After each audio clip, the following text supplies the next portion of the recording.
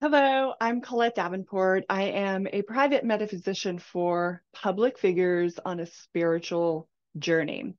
In today's lecture, I'm going to be sharing the high level introduction to my metaphysical model. Now, as I'm going through this, you might have some questions, or if it's stimulating some deep curiosity in you, then I invite you to check out my website, colettedavenport.com, where you can see more information, um, who I work with and how I work. And then if you find that doesn't perfectly pinpoint resonate with you, that's okay. You're still welcome to reach out to me and let's see what kind of magic we can make together.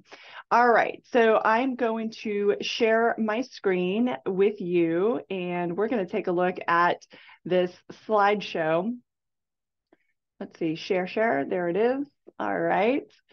Uh, for the metaphysical model. Now, before I get into it, I just want to say this model is something that while I've created it to convey to you, it's actually a distillation of decades of self inquiry and devouring all of the spiritual uh, books and and following uh, other wise teachers and things of this nature, but translating all of that information in addition to the divine, the direct downloads that I have received um, uh, as I've made myself, you know, an open channel for this self inquiry, for this information to truly understand what is the nature of reality. And why I've done this is because like most of us, I've had a lot of challenges, a lot of life setbacks, a lot of um, things to overcome. And and while I have done that in a traditional way of hard work, no, you know, keep your head down and just fucking work, I've also realized that that's not the only way that we don't have to work ourselves to the bone in order to achieve some level of success.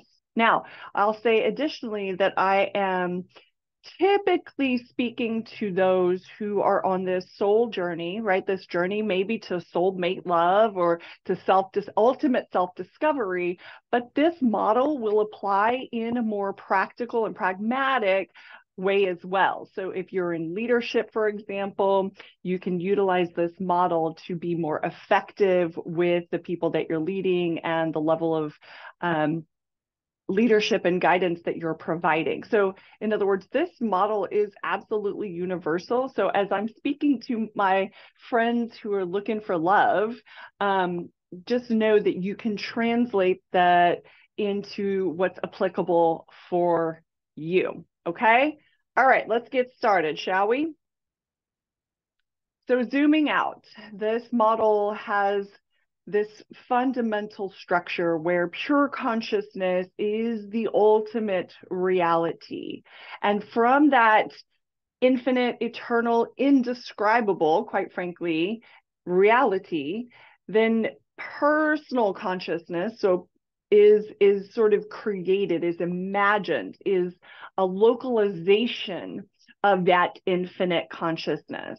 Okay, so then from personal consciousness, or what I tend to call the soul, from that personal consciousness, our personality is imagined, is formed, comes into form through that imagining of the personal consciousness. So in this case, personality, and I'm going to get into more detail. So if you're like taking frantic notes, chill out because I will expand on each one of these in detail shortly.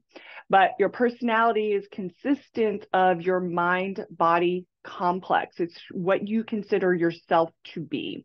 All right. And then from personality, from the you you think you are, then your personal reality is experienced.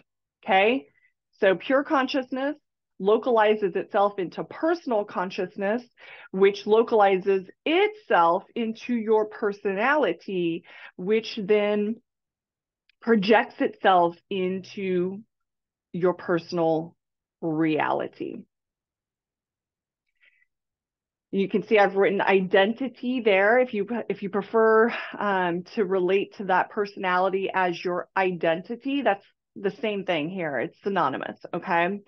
So expanding on this model, there are seven levels of creation. Isn't it interesting? There are seven levels of creation. There are seven days in the week. There are seven chakras, right? The whole divine number seven. it's not a mistake, y'all. It's it's it's on purpose. So the seven level of, of creation that uh, correlate with the model, uh, metaphysical model of reality from pure consciousness. This is known as the I, the infinite I. Maybe you call it God. Okay. And then personal consciousness is I am.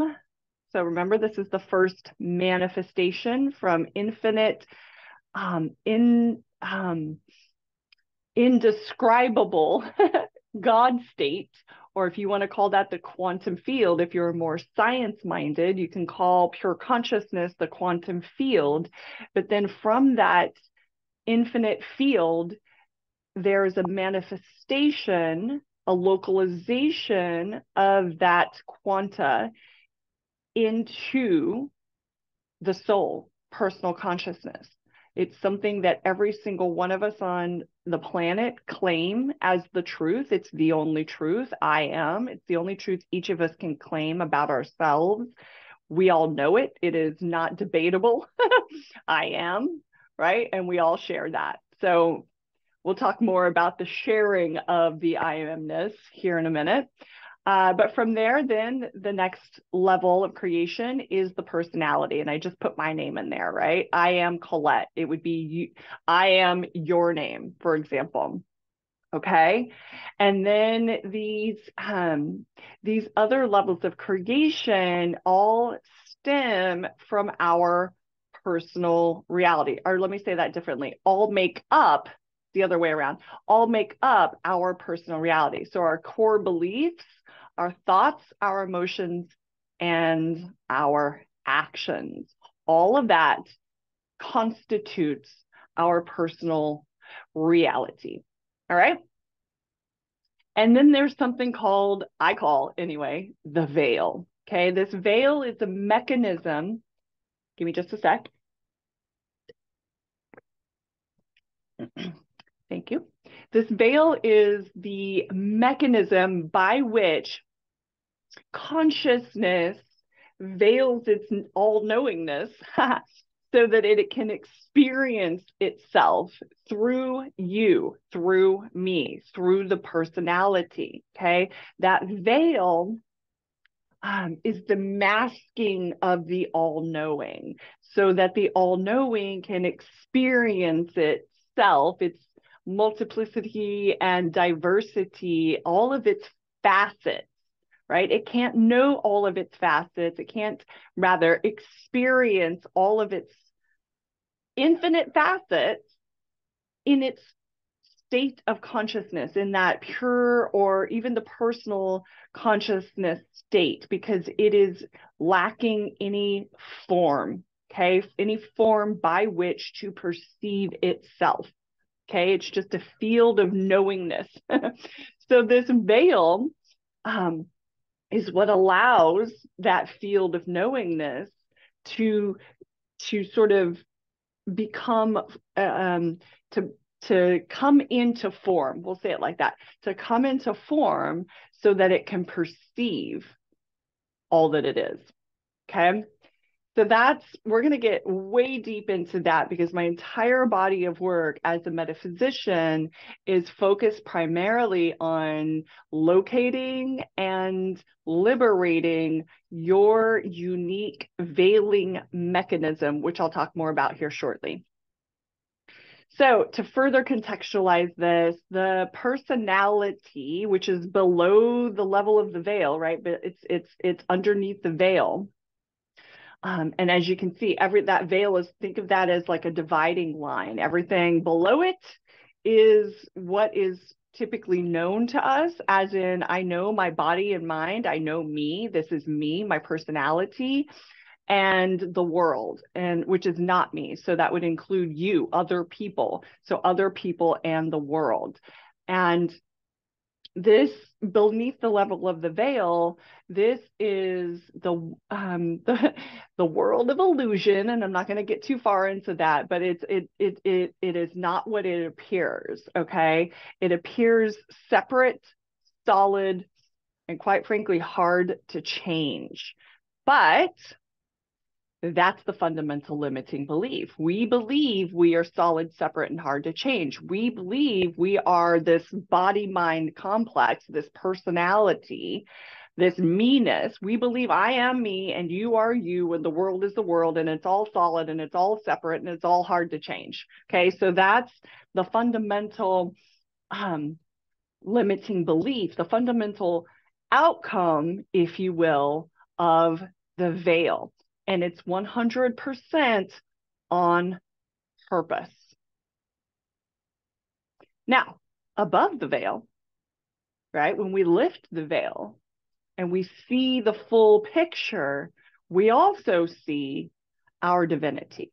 Now, it's not as simple as what I just said. uh, in fact, it takes a lot of people decades and lots of dollars and lots of trips to Peru sometimes, or other ways, other methods for um, knowing thyself, right? Knowing your divinity, knowing your infinite nature, knowing who you really are.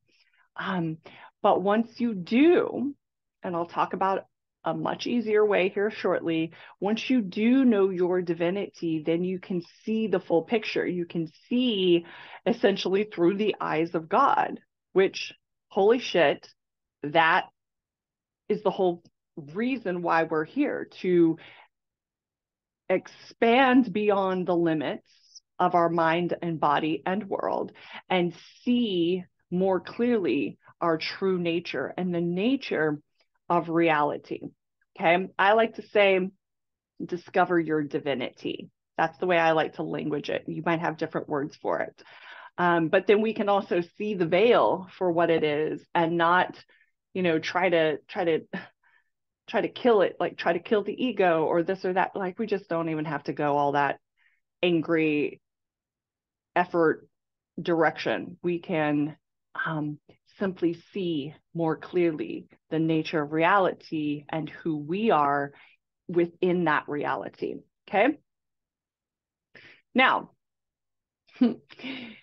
there are also, I find a lot of times in my work with my clients who are looking for love, they typically very highly successful men, but women as well, looking for love, looking for that soulmate love, looking for like true partnership. And a lot of times that desire um, is more of a it's expressed more like a need of the ego rather than a desire of the soul right? So above the veil the soul it only desires to express itself. And what is itself? It's love right? It's love, it's joy, it's peace, it's pleasure, it's ecstasy. It just is. This is the nature of reality, the nature of pure consciousness, the nature of God, right? Is love, essentially. So when the soul desires, it simply desires to express itself fully okay in human form. That's the whole point of having a body is to express that infinite nature, that love that we are through the physical body. but when we aren't aware of that veiling mechanism and we're living beneath that veil, we're living in 100% in the illusion identified as our personality, as our body mind, which again is so- solid, separate, and hard to change according to that um, interpretation of reality. Um, it's a limiting belief, remember. But as long as we're doing that, then instead of expressing ourself, our, soul lovingly, we've got an ego that's got needs. Okay, so the needs of the ego, and the ego, by the way, is just that aspect of our humanity that is fearing uh, being alone and death and seeking security, safety, and significance. Okay, so that's the whole point and purpose of the ego it's it doesn't want to just it doesn't want to be alone and doesn't want to die and it wants to feel significant and safe okay? So it's it's a wonderful aspect of humanity. But as long as it's in the driver's seat then it is always needing to be safe needing to be significant which translates in in relationship needing to be approved of needing to be loved. I use quote fingers because what we think love is when it comes from the need the ego's needs isn't actually love. It's um it's more about being significant being approved of being valued which these are not bad things. They're just limited by nature. Okay. So there, the distinction is above the veil at the level of your divinity, your soul simply desires to express love, express and experience love.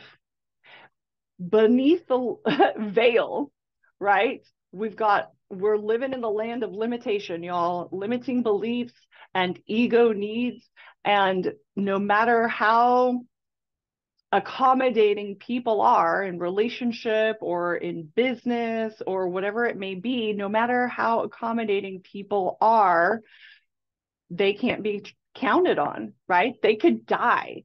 And now what? Now we don't have anybody to validate us, to value us, to approve of us, right? To make us feel significant. So we beneath the veil, we're simply fucked, Okay. And so what there is to do is realize it's just two different ways of seeing yourself and the world. Okay. Beneath the veil, as I just described, with all of its limiting beliefs and its ego needs, this is the conventional model. This is the conventional model of reality that we're all conditioned um, to live within. Okay, no one's questioning it, questioning it. I mean, except for me and some others, right? But primarily, we're all just staying in the status quo of this conventional model of reality. Which is why I'm teaching this lecture, offering this lecture to you about the metaphysical model of reality, which includes everything that I just described but goes beyond that to also see self as source, as infinite, right? As pure consciousness that is localized into the individual for the purpose of expressing and experiencing our infinite nature. Okay. And so we, I'm calling it the metaphysical model because I like that phrase. You might call it um, a spiritual model, or again, if you're more science minded, go ahead and call it the quantum model. Um, all of it is synonymous um, from where I stand. Okay. But you might have a preference for how the language that you're using. Um, and so use it. All right, let's let's talk more about the veil. ah, hopefully that looks the way I've done it, the way I've created this slide, hopefully it looks kind of 3D, like what? Can I even see? What is it? I can't really tell. um, the veil exists between personal consciousness, or I am, as it's stated here, and your personality. I am Colette, right? So from that I am, that infinite I am, from the unconditioned consciousness to the localized um, qual- qualified, formed entity known as Colette, or in your case, you. Okay. And this veil, again, is the mechanism that allows consciousness to express and experience itself in the world of form. Okay.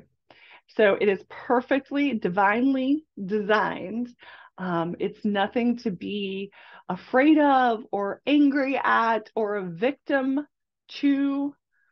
Talk more about that in a second. Um, it's so perfect. It's just, it's divine. Okay. And so, again, my body of work is based on like lifting the veil, right? First, we got to see there is a veil so that we can lift the veil and be liberated and experience our true nature. And our true nature, again, is pure love, it's joy, it's sustained inner peace, these kinds of things. Now, that doesn't mean we're just living on a like cloud somewhere, never experiencing challenges. We do experience the challenges. We just know how to um, overcome them without going to war with ourselves or other people. Okay. So the veil, the veiling mechanism, I call your soul wound. Okay. And again, it lives between consciousness and personality. It's right there in between your unconditioned self or soul and your ego self or personality. And the soul wound is a fundamental misunderstanding of who you are. Okay. It is specific, unique, and cruel. Okay. That's just how, that's just, that's just its makeup. Okay. Otherwise, it's not effective. So here's some examples of clients of mine that I've done the deeper work with and we have located and liberated their soul wound. So, just a reminder these are highly successful, very powerful public figures that have uncovered this this mechanism this soul wound that lies beyond their level of self understanding in other words if you're trying to use your ego to understand this you're not going to get very far. You actually have to go beyond that level of self understanding, which is why I'm a private metaphysician. Meta means beyond, beyond the physical, beyond the known, into that quantum field, into the soul, okay, into the essence. And this is where the soul wound lives. So here's some examples. See if any of this resonates with you. I am a disappointing reject, unworthy of unconditional love. I am a nobody, an ugly, boring loser that deserves to be alone. I am delusional. I'm fraudulent. I'm a small man that is incapable of measuring up.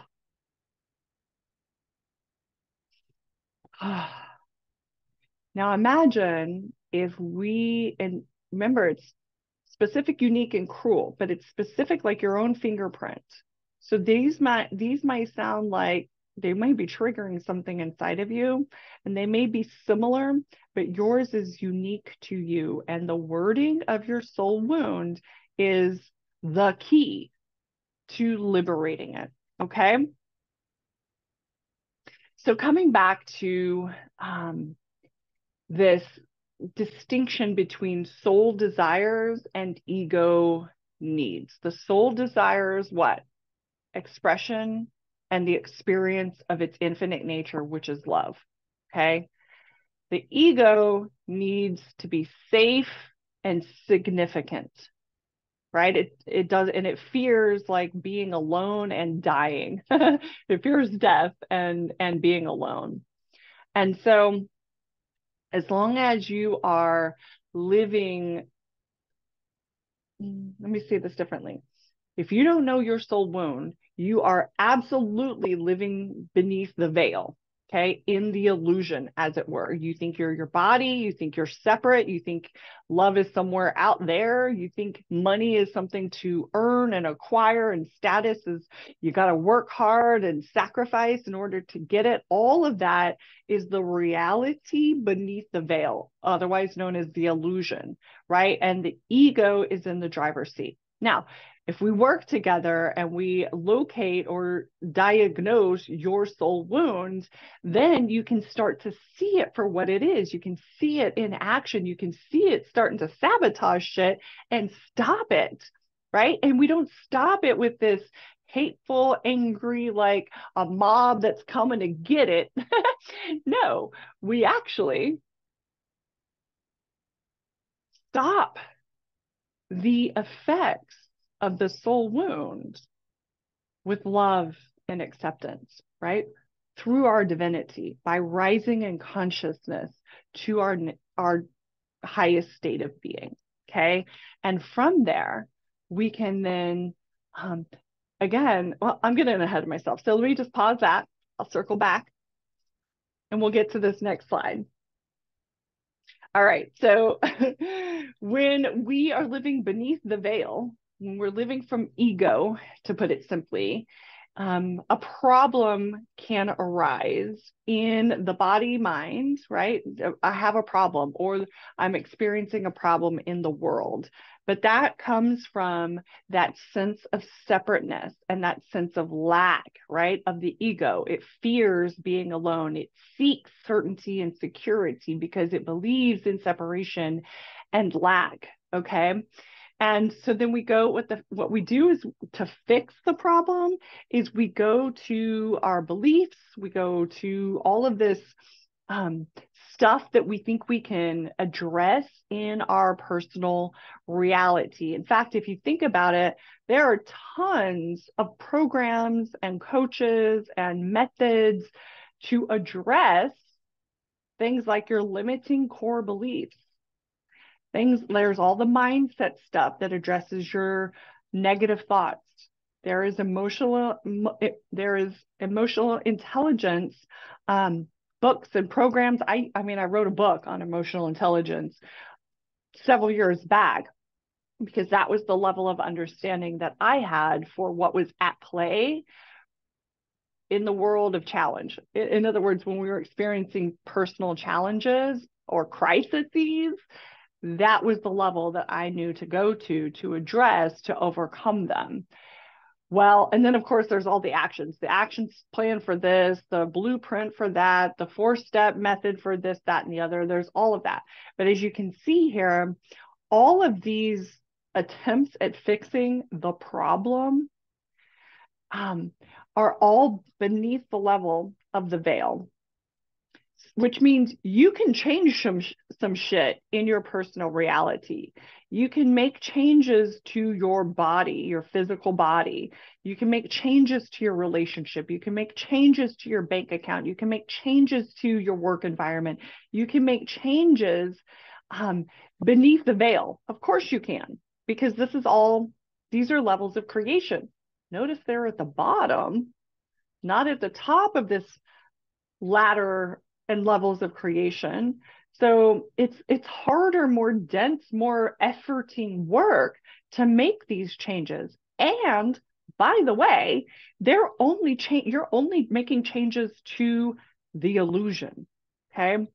In other words, and again, the illusion doesn't mean it's not real. It's just not what it appears to be. It's just a limited perspective of the ultimate reality. So you're making changes to something that isn't even the ultimate reality. Okay. So, what is there to do?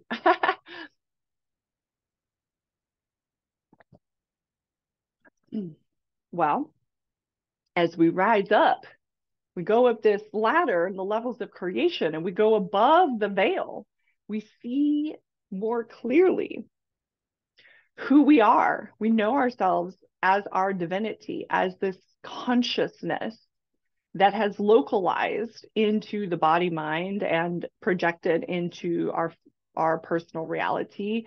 But from this level of seeing from this level of consciousness we have choice. We can consciously choose what we want to experience who we want to be and how we want to express and experience in the physical body, in the physical world, in our business, in our relationship, in our money making endeavors, right? From this conscious choice, we are creating with power. We're cooking with gas, as they say. Um, we actually have the ability to choose from that quantum field of possibilities rather than the pool of limited potential that exists beneath the veil. Okay. So above the veil, we have choice. Um, let me just qualify that. We have the choice on from a from from a from the infinite pool of possibilities. Let me just put it that way. Okay. Above the veil, we have the choice from the infinite pool of possibilities. Beneath the veil, we're fixing problems, which is like just moving pieces around on the checkerboard instead of recognizing we created the checkerboard and all of the pieces, and we are the player, and we are the opponent, and we are the allness that is experiencing the entirety of it. Okay. so let's keep moving. So, what there is to do in order to rise above the veil and become this awakened soul. So let me just say the the the, the veil doesn't go away. The veil remains. It is a mechanism of humanity. Okay. Um, it will always be there. But when you awaken to your true nature, your infinite nature, your divinity, when you are an awakened soul, you're no longer a, you know, walking around with a soul wound in the driver's seat of your experience. When you are an awakened soul, you see reality as it is. Okay which, yes, includes the physical body, includes other people, includes the whole wide world. Okay. But we know that there is only ultimately pure consciousness that we are all a part of, all emanating from. Okay. And so an awakened soul is a fundamental understanding of who you are. How simple is that? It's like the flip side to your soul wound. And so, if the soul wound is specific, unique, and cruel, the awakened soul is simply an expression, a knowing, and a loving and expressing of you in the world. Okay. So it takes you, in fact, it took these clients from their soul wound, I'm a disappointing reject, unworthy of unconditional love, to I'm perfectly imperfect and loved for being my whole self. Okay, I've got a couple more examples for you here. This client went from I'm a nobody, an ugly, boring loser that deserves to be alone, to I'm a magnetic man who creates authentic connection easily. And this client went from I'm a delusional, fraudulent, small man that is incapable of measuring up to I'm a clear headed, honest powerhouse of a man who is loved just as I am. So, this, like I said, is a high level introduction to the metaphysical model. And I hope that you saw the, the, the zoomed out version. So, pure consciousness, personal consciousness, personality, and personal reality are the basics but we tend to um, contract ourselves into in the conventional model we tend to contract ourselves and confine ourselves to just what we perceive as our personality and our personal reality which is full of limitations because it's based on the belief or the the the mm, the construct that we are separate solid and hard to change. So anytime a problem arises for us, then we go to fix it by taking some sort of action, or if we're a little bit more evolved, we're using our um, emotional intelligence tools or our mindset tools, or if we're like even more evolved, we're digging into those core foundational beliefs. And we think when we find them that that will really give us some relief and help us solve our problems, and it will. It absolutely will, but it will never liberate us at a soul level.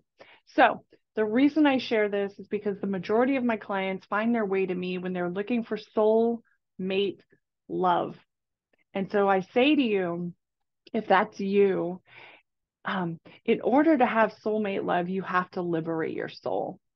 And this metaphysical model and my and my work as a private metaphysician does exactly that. In other words, if you want soulmate love, um, you cannot any longer see yourself as this, um, as your personality, right? Solid, separate, and hard to change. You can't see other people like that. You can't see love or your your partner as something separate and far away that you have to earn their love or become someone to who deserves their love. You just you, you just can't and vice versa. They you can't see them as someone um, who needs to live up to your expectations and this and that. So that's all conventional approaches to love and relationship. And remember when I said it's like quote finger love because it's not actually love? Love can only be, by definition, unconditional which means it's above the veil, right? Love is unconditional because it is the nature of reality. It is is our essential nature. Okay. So when we're beneath the veil, when we're confined to our personality and the soul wound is in the driver's seat and we're living from our ego's needs, then um, we're not actually in love. We are seeking approval. And as long as the other person is approving of us or quote unquote loving us, meaning we feel safe with them, um, we feel we no longer feel alone. So we're not seeking that. And as long as they're providing us with what we need at an ego level, then we perceive it as love. But as soon as they take their attention off of us, um, because you know we're multifaceted beings and that happens we experience a loss or a lack of love. I should say the ego does right? So to rise above that conventional approach to love and relationship we actually need a metaphysical model um, to set free our wonderful loving souls so I hope you got something from this. I absolutely welcome any and all questions that you may have. Again, you can find me at ColetteDavenport.com and I'll see you in the next lecture. Bye.